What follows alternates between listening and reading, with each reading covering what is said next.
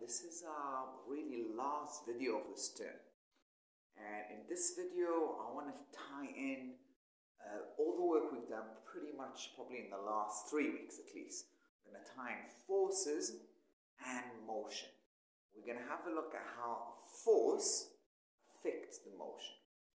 Now, that's really the heart of the topic in physics that we call mechanics, and you're going to be learning a lot about it when you're in grade 10 and 11.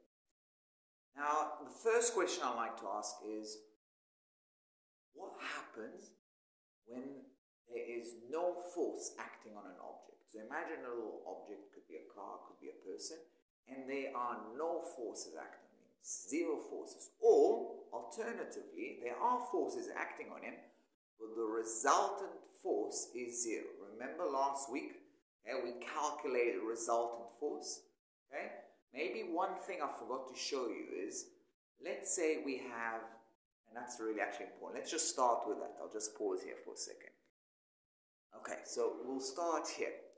And just like we did in the last lesson when you guys were in the class, we have two forces, 10 Newton up, 10 Newton down. It could be, let's say, weight pulling down on an object, and the reaction force from the floor it's standing on is pointing upward, okay?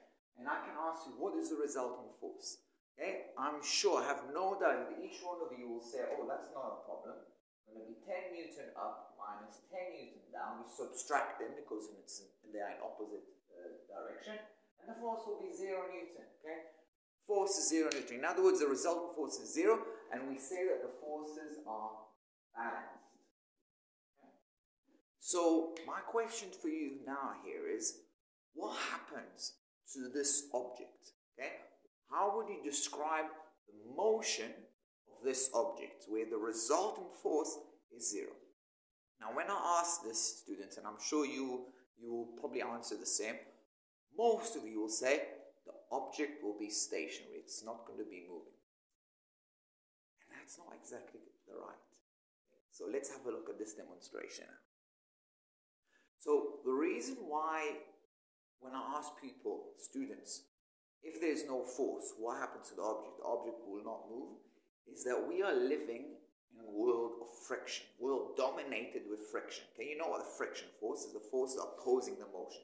If I was to push this book over the table, okay, as long as I push it, it will move. Once I stop pushing it, it's not going to move. So you you'll be allowed to think that okay, if there's no force, there's no movement.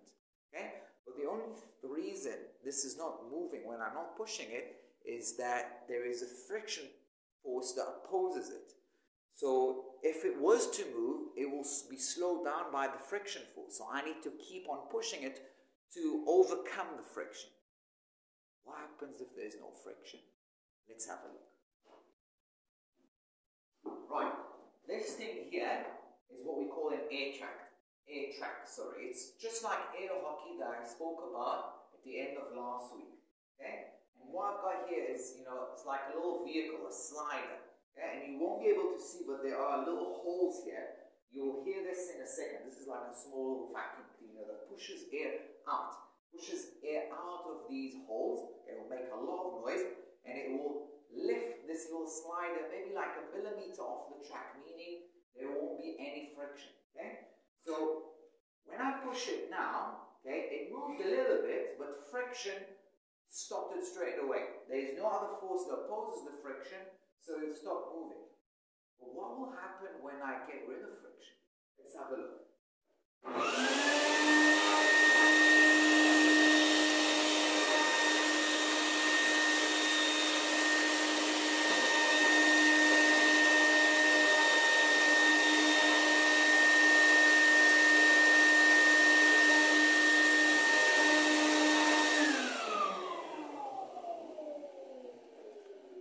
Guys, just a technical difficulty. We'll be back with you in a minute.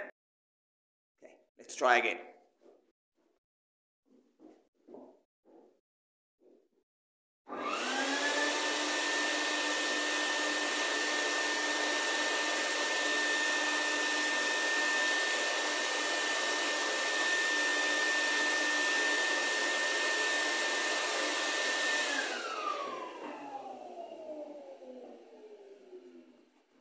Okay, that was much better.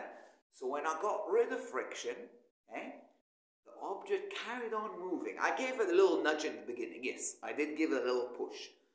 But that was it. I just pushed it once. And then you saw it carrying moving backward and forward, backward and forward, getting uh, colliding on each end. And then I put some little rubber bands so it's the push force from the elastic force push it back in.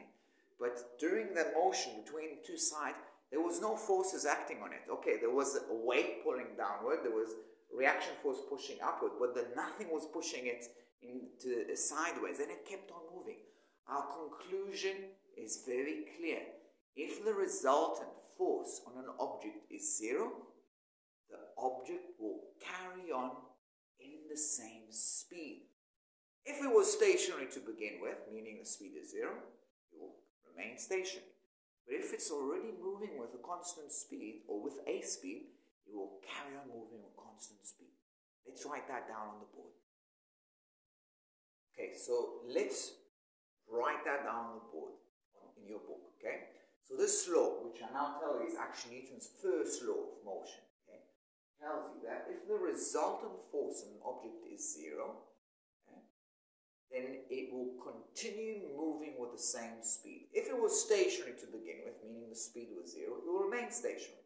But if it is moving already with a speed, let's say 10 meters per second, then it will continue moving with that speed forever and forever as long as the resultant force is zero. Okay? Another example you've probably seen maybe in the movie, okay? A person in standing in space doing like a spacewalk, okay? And then he's pushing, I don't know, whatever, a ball. That ball, because there's no frictions, no air resistance, nothing in space, it will carry on moving, carry on moving forever and ever and ever and ever. Okay? Maybe you saw a spaceman walking and then, you know, they had, they connected with a, a rope to the spaceship if that rope gets uh, uh, disconnected and somebody push that spaceman, then he'll carry on. And you, you, can't, you know, you can try in the air, you know, in, in, in the space, try and swim back, but he can't because there's nothing that will stop him. Okay? Let's write that down. Pause me and write that down. At the same time, now I want to ask another question. If this is Newton first, okay, probably suggest that is a Newton uh, second law. Now we are all Newton's second law almost. Okay, we're not gonna. I'm not gonna teach you Newton's second law, but I'm gonna bring you a bit closer. Newton's second law tells us what happens when there is a force. So if I take uh, uh, this uh, glue and I push it with a force which is stronger than the friction, okay? Think about a car. Let's forget the glue. You're in a car, and eh, there will be push force from the end and push you forward, the thrust, friction and air resistance backward. If the thrust from the engine is larger than the drag, you're pressing accelerator, okay? What will happen to the car? Well, the hint is in the name. Press the accelerator, the push force is stronger than the, the friction force, the car will accelerate. In other words, a resultant force which is not zero will create acceleration. But sometimes it can cause the opposite. So let's say now you're driving in the car Okay, now you're driving constant speed. The push force from the engine is equal to the friction, okay, air resistance together, so you're traveling constant speed. Now you see somebody crossing the road, you want to stop. What do you do? You press the brakes. What does pressing your brake do? Increases the friction. So now the friction is larger than the uh, push force from the engine. What happens to the car? Okay, the resultant force now is not zero, okay, but it's opposing the motion. It's in the antidirectional motion the car will decelerate. Let's write that down. Okay, so please write that down, okay, when the result Newton's second law, almost. It's not, there's something I need to add to get to Newton's second law, but you'll learn that in grade 10, I think. Resultant force is not equal to zero, the object will either accelerate or decelerate, okay, depending on which direction is the force. Okay, now what I would like you to do, okay, you guys are going to do this worksheet over here. Now, I am going to talk, I'm going to talk you through and I'll solve it on, on the video. But it is really, really important that before you listen to my explanation, you have a go at it by yourself. You have a go at each one of them by yourself first, then you listen to me and, and see if you got it right. Okay? See you in a bit. Right, so now hopefully you had to go at A, B, C, D, and E. Okay? These ones. And what you're going to do there, first of all, draw free body diagram. Okay? And then you have to uh, uh, decide, you also have to show the sizes of the forces. Okay, which one is bigger? Okay? And then you need to describe what happens to the objects. Well, the questions are not phrased as ideal as I would do them in a test, but we'll go through it together. So the first one is a car. Now, unfortunately, you know, um, let's put it this way. They didn't tell you if the car is speeding up, accelerating, decelerating, constant speed. Okay? In a test, I will specify. And, and in this case, I'm actually going to show you four free body diagram for all three cases.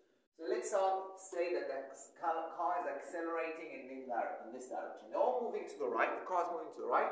But in the first case, it's accelerating. That means it's speeding up.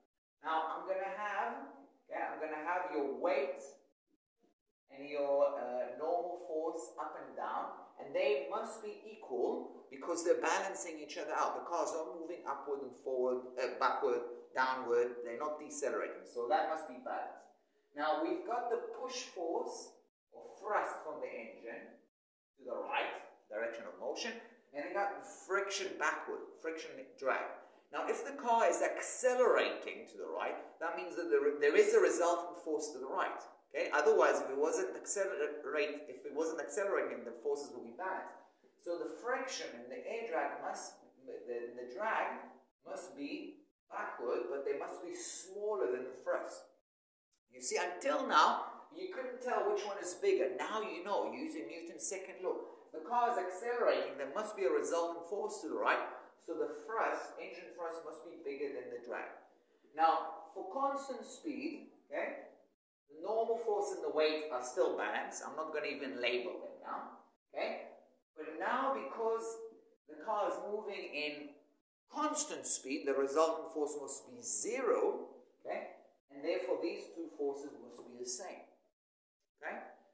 And when the car is decelerating, decreasing, okay, again, these forces are the same, but now the friction, okay, the friction and the drag must be bigger, and you can see they're bigger than the engine thrust. So now you are able to know, not to calculate how much they are, but you can tell which force is bigger. You need to know that when the car accelerating forward, the thrust must be bigger than the drag. When it's moving constant speed, they must be equal. When the car is decelerating, the thrust must be smaller than the drag. Let's move on with the swimmer. Okay, swimmer, let's say he's moving constant speed. Okay, so we're going to have uh, his weight downward. Okay, something is pushing him up. That's not a normal force. When we're in water, we call this up thrust. We say. Right? That swimmer is moving to the left.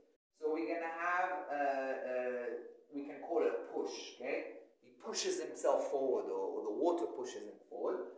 And then we're going to have a backward force, which we call water resistance. Okay? And because I just randomly said that he is swimming constant speed, these forces must be equal as well. If I said he was accelerating, then obviously the push force will be bigger. If we said we, he's slowing down, the water resistance will be bigger. Right, the next one, I think that's the hardest one, is the puck. Okay, you can see a picture of a puck moving on ice, let's say on ice. Okay, so not, not it's a hockey, they're playing ice hockey. Okay, now the ice hockey or the puck, okay, just like, just a second, just like my slider here, okay, you can see the stick hit the puck, but at this moment it's not touching it. So nothing is pushing that puck just like that slider was on the, on the air track. In other words, there are no push forces. The only forces we have is weight, and we have normal or reaction force from the, from the ice. There are no, the, the stick is not pushing it anymore. It did push it in the past when it was in contact with it, but now it's not in contact with it. So these are the only forces acting on it, and these forces must be equal. Let's move on to the next example. Okay, the next example is this guy, this baller, just throwing the cricket, the crickets, okay? And he's just in this position. The ball is still in his hand. Okay? So the first force, which is always there on planet Earth, is the weight. Okay? That's definitely there. But obviously now we also have force from our hand, push force. And the push force is maybe horizontal, maybe it's more like this. It depends, but it's it's in to the right. Okay, so that will be push force from the right. Okay, there probably will be also some kind of drag. Okay, but the ball is still accelerating. We're making it move faster. Okay, so the push force should be larger than the drag. Okay, the last example. Okay. Okay, that was an A, that was D. And then the last example is the bowling ball going towards the pins. Okay? Now, again, that's on the floor. Okay, so we're going to have our weight and the normal force. But I know, guys, this ball is moving fast, but there's no push. Anything is pushing it forward. We pushed it when it was in a hand, but the hand is not there anymore. So there's no push forward to the right, push force to the right. What we do have is friction. Okay? We've got some kind of friction, and you can even write air, uh, air resistance or drag. Okay? But it's not balanced by any kind of forward force. Okay? Right, guys, that's it. Just make sure you uh, write all that down, and I will see you guys next time. Bye bye. Enjoy the holiday. Yippee! Okay, mon- yeah, we'll, we'll give you some instructions later about when anything else that I'd like you to do. Enjoy your holiday, guys.